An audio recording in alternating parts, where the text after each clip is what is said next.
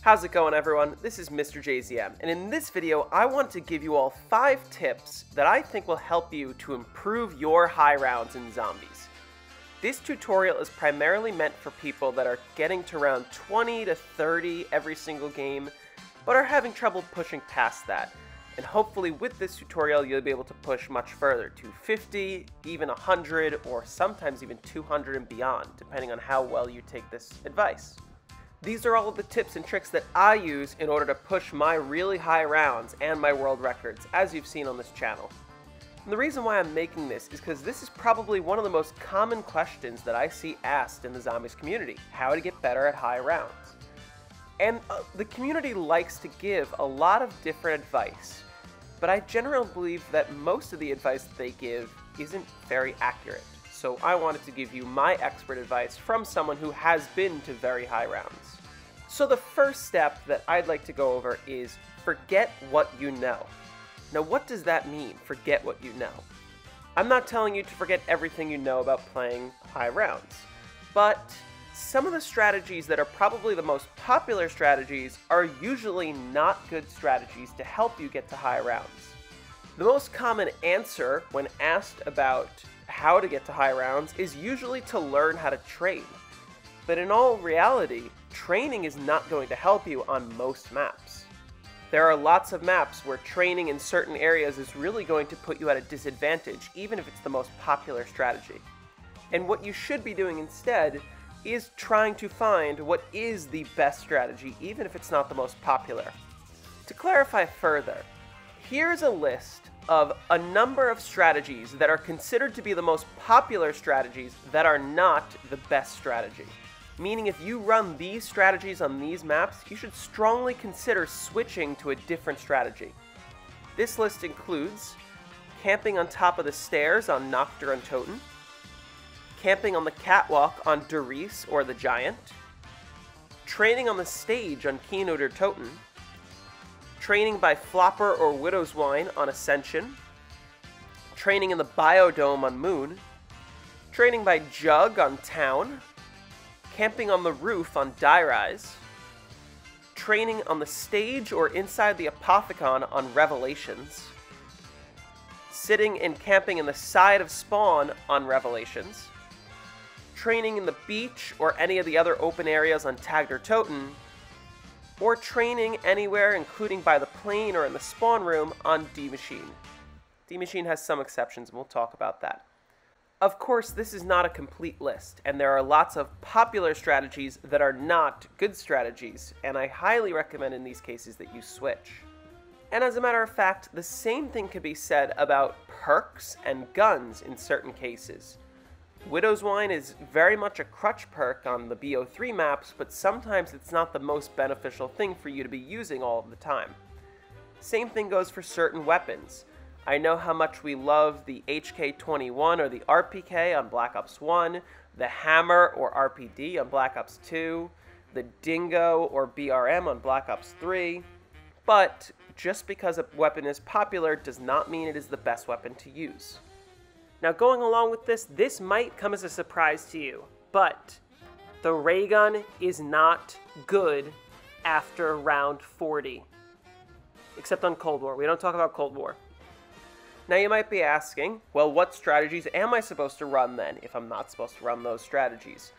I plan on making more videos for each map on the most popular strategy and what strategy you should run instead. However, for this tutorial, I don't know what map you're going to be playing, so this is the advice I'm going to give. Step two is pick your map and do your research. The easiest way to know what strategy you should be running on a given map is to look at the world record holders and copy the strategies that they use. Now you might be thinking to yourself, why would I copy their strategies? The strategies they run are much more difficult, and that's why they get the world records. I want you to trust me on this one because it sounds very counterintuitive and it sounds like it's difficult to try and copy a world record holder strategy. But usually when we go for world records, we are playing the easiest strategy, not the most difficult. There are some exceptions, but in general, if you want to increase your PB, you should be copying whatever the world record holders are doing. Now, maybe there are some exceptions to that, but it doesn't just have to be the high round world record. Sometimes, if you're looking to go to round 100, you might want to use whatever strategy the 100 speedrun world record holder is using. Because again, even though they are playing fast, you can generally copy what they're doing, and it's going to be much easier than the most popular strategy on the map. To give you one example, let's say I was trying to learn how to play the map Mauer der Toten. I might go to any of my favorite leaderboard sites and find a video of someone who has gotten to round 935 on Mauer der Toten. I could click through a number of their videos and kind of see the strategy that they're running, and I might choose to copy the exact strategy that they did. Sometimes the world record holders are really nice and will actually make tutorials on how to do the strategy that they did. Depends on the map, but either way, just watching the full gameplay and kind of studying the movements that they take and what strategy they're using will help you a lot to learn a specific map. So if I was to learn a map like Mauer der Toten, I might click on this guy's video and see that he has included an entire tutorial on exactly what he did to get his 935. And he has linked the full gameplay in the description, so I have about 60 hours worth of gameplay to watch and study. Maybe I want to learn a different map, like Buried. Again, I'm going to go to the Buried World Record leaderboards, find this person, who has round 233, and click on his video. And obviously, sometimes the videos are just montages and they don't have a lot of gameplay or a tutorial, but I might be able to look in the description and find the full gameplay and copy what they do. In this case for Buried, I go to my friend Wonderful's channel, and I'll click, and the first thing I see is a tutorial on how to play Buried, which he just recently made. Excellent. I can watch that tutorial, and I'm going to copy exactly what he did. He knows the map best because he's the world record holder. Like I said, it might feel really weird to be copying their strategies when you're not trying to go for a world record. But trust me when I say, they know how to do it best, and they know how to do it easiest. And if you copy their strategies, you will have just as easy of a time. And another important thing that I want to emphasize is you need to do your research for every single map that you play. Like I said, learning a blanket strategy like training is not going to help you on a lot of maps. You might know how to train on a certain map like Town, but then you go play Tag der Toten and training is only going to hurt you. Same thing goes for training on Town versus training in the spawn room on Ascension or something like that there's specific ways to train, and it's not just running in circles and hoping for the best that's going to help you push your PBs. So every single map is different. So once you have picked the map that you want to play, and you have done your research and you feel confident, the next thing that you're going to do is you're going to keep restarting and keep trying. Now what that means is, let's say you're early into your game and you take a silly down that you probably could have prevented don't restart your game immediately. Yes, you will be at a disadvantage, but continue to play on and see how well you do. And learn from that mistake. Whatever mistake you did make, try to avoid doing that again. Look back at footage if you have footage, and just think back of what went wrong and how can I fix it for the next time. The more you look at your mistakes and take time to kind of understand what you did that went wrong, the easier it will be for you to fix those mistakes going forward. For people who are really good in the high round community, you'll notice there's a trend where people will restart immediately as soon as they get their first down if it's way too early. If you are just getting new at getting to high rounds, you don't have to restart and you don't have to play flawless. On the other hand, however, it does help to know when it is beneficial to restart. Some examples of when it might be good to restart are when you need to get perfect box or perfect drops. And by perfect box, I mean if you're a new player, you might be chasing the box around the map until you eventually get a Thunder Gun on round 30. But wouldn't it be so much easier if you got the fun Thunder Gun on your first hit? Consider restarting so that you get that Thunder Gun or Wave Gun or Wonder Weapon on your first couple box hits. That way you have it earlier in the game and you'll be able to survive the early rounds much easier. And the same could be true for anything in the game that might be bad RNG. Like if you hit the Wonder Fizz too many times and you just can't seem to get the perk that you want and it's taking way too long, or something like that. Don't be afraid to restart to give yourself better odds in the early game. But in general, learning how to high round and getting good at a specific map is not going to come overnight. Just because you did your research on a certain map doesn't mean you're going to break your PB or even get a world record on your first attempt. It's going to take some time and some practice. And be prepared to keep restarting over and over and over again until you push your PB by another two rounds, or another three rounds, or another five rounds. Until you get your first round 50, your first round 70, your first round 100. Keep restarting. It takes practice, and practice makes perfect. The next piece of advice I wanted to give is learn how to take breaks. The most common complaint I hear from people who have trouble getting to high rounds is they get bored. It's totally okay to get bored, and most high rounders will. Not everyone is going to enjoy every second of the whole game, and it's okay to take breaks. The best way to take breaks when you do get bored is don't just end your game and call it at that try and save your game. So pause it and leave it overnight if you need. If you play on local on PlayStation, rest mode is a great way to help you save your game overnight without running into any issues. And you could theoretically save it for as long as you want. There are similar ways to save your games on Xbox and PC based on what your settings are. And don't feel like you are obligated to have to come back to it the next day or have to play a certain amount of hours in a given day. If you need to take a few days off to kind of build your motivation, take a few days off. Seriously. Remember, my Mauer der Toten game took over two months. And I would only play an hour here, an hour there, take three days off, play an hour in the morning, play an hour at night.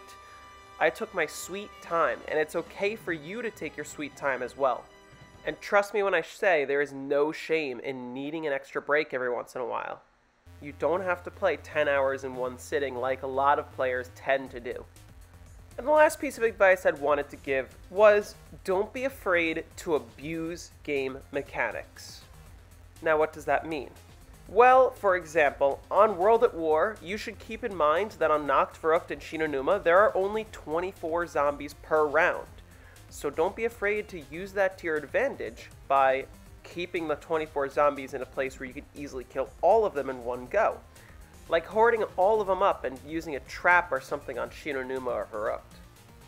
For Black Ops 1, typically your biggest advantage in the game is going to be the insta-kill rounds, which happens starting every other round approximately, starting on round 163. When you get to round 163, look up videos on how to properly run insta-kill rounds and how they work. But if you are just getting started in the game, you won't have to worry about that for the most part. But that being said, there are other ways to abuse game mechanics, like glitching or trapping the Cosmonaut on Moon. On Black Ops 3, the biggest piece of advice I can give, especially to new players, is abuse your Mega Gobblegums. First of all, get enough Mega Gobblegums so that you can kind of do whatever you want. I highly recommend going on YouTube and looking up the Spanish strat for Liquid Divinium. Just type in Spanish strat Liquid Divinium and click on the first video. You'll see what I mean. I have over 95,000 Liquid Divinium and over 400, if not more, of all of my Gobblegums. I'm never going to run out. And because of that, when I do play games with Mega Gobblegums, I can abuse all of my gums. And I literally mean spam them. Most of the gums, with a couple exceptions, are legal to be used. So if you use things like reign drops and cache back and alchemical, you could just spam your wonder weapon on a lot of maps all the way until you run out of ammo which will probably take over 100 rounds, if not more. On a map like Revelations, you can spam gobblegums that give you ammo for 255 rounds. Take it from experience. Now I understand some of you might be hesitant to want to spam Mega Gobblegums as it might feel a bit impure, but if you're trying to push your records, you should use every advantage that the game gives you. The same could be said on Black Ops 4 about using specific perks. Dying Wish should be in your perk setup every single game. Dying Wish gives you way more downs than you normally would have, and learn how to abuse that. In my Tag der Toten world record, I used Dying Wish 16 times, and there's no shame in that. There's no shame in taking way too many downs. The same could be said for abusing silver bullets on Dead of the Night, or using certain strategies that other people consider banned on Alpha Omega. And again, I understand that certain leaderboard sites are not going to like it if you use certain Alpha Omega strategies. But if you're trying to just do something easy and your only goal is to just push your own record, if you think it's illegal, do it. Who cares? You can brag to your friends that don't play zombies and say, look, I got round 100 on this. And trust me, I think it should be legal. So I'll praise you in my heart. I have another video coming on that topic, don't worry. For Cold War, the best thing that you can abuse is the fact that once you have all of your perks upgraded, you are basically invincible. So, if you really feel cheesy, use super easy strategies like running the RC car on all the maps. And trust me, you can just spam RC car all the way to around 935 on most maps. Is it going to be a little bit more boring if you play the easy strategies on certain maps? Yes, it's inevitable. But a lot of times it's going to be faster, depending on the strategy.